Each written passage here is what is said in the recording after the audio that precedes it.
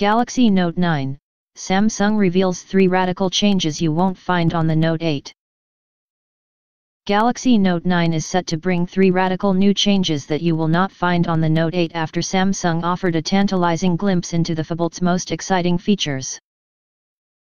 The South Korean technology firm has scheduled its Galaxy Unpacked event for August 9 that will all but surely be the grand unveiling of the Note 9 but ahead of the event Samsung uploaded three videos to its YouTube channel with the hashtag Unpacked to give fans a small glimpse into what August 9th has in store.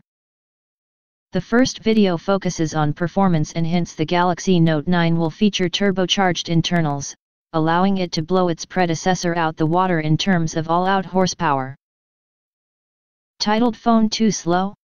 A lot can change in a day, the video shows a user being sent a file they have to open.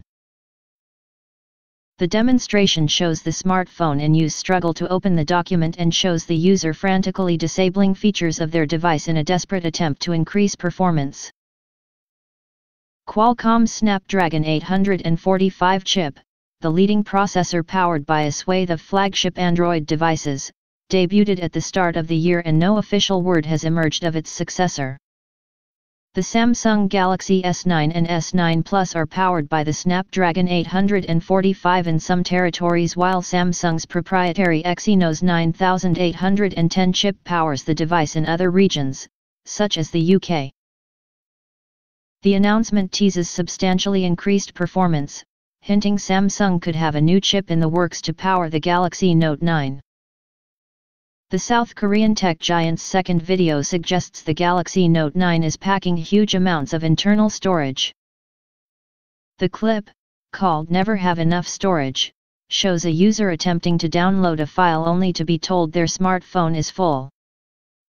The user then attempts to delete a number of items to make room for it but has no luck.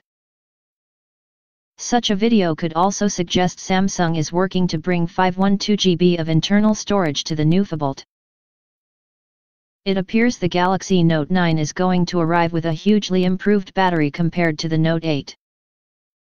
The third and final video posted by the tech firm shows a user quickly running out of battery life ahead of a meeting. But Samsung appears confident in ensuring all-day battery life with ease. Rumors initially pointed towards the Galaxy Note 9 featuring a 3850 mAh battery, this would have been substantially higher than the Galaxy Note 8's 3300 mAh. But Twitter user and reliable tipster Ice Universe has since declared the company could pack a 4000 mAh battery inside. This would drastically improve the Note line's current battery life, potentially delivering an entire day of usage easily with room to spare. Samsung fans will not have to wait long to see what the Galaxy Note 9 has in store. Express.co.uk will be covering the company's Unpacked event live on August 9.